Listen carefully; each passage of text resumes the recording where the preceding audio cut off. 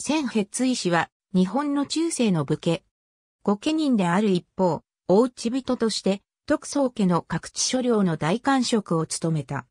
千ヘッツイ氏は鎌倉時代を通じ、尾張国千ヘッツイ里を本拠地とした御家人であると同時に、徳宗家の悲観として海上交通を掌握したと見られている。千ヘッツイ氏の支配領域は鎌倉時代後期1306年の千ヘッツイ寺家による処分状によると、尾張国千ヘッツイ里のほか、日立国、駿河国、薩摩国の特総領の大官職となっており、かなり広範囲に及んでいる。薩摩国の所領については、上級の乱以降に与えられたものとみられ、川辺郡を拠点に、坊津、機械島、奄美大島、沖永良部島、徳之島、屋久島下郡などの重要港や奄美群島の島々までが挙げられている。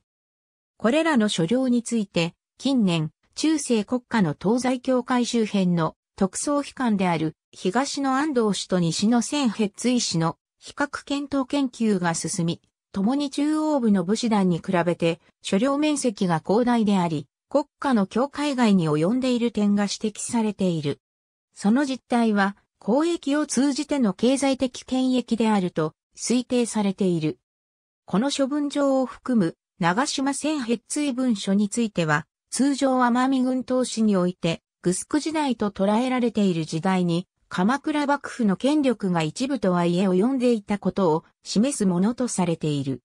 また、金沢文庫中の日本地図に、奄美島、資料群と記載されていることから、千ヘッツイ市の奄美群島に対する権益が単なる経済的なものに止まらないとする見方もある。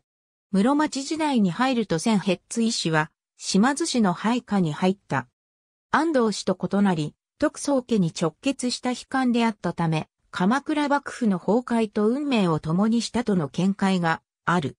藤原氏の高家もしくは、藤原南家流、関竹平氏を称していた。村井他1997黒島2013、ピアニッシモ113から114。ありがとうございます。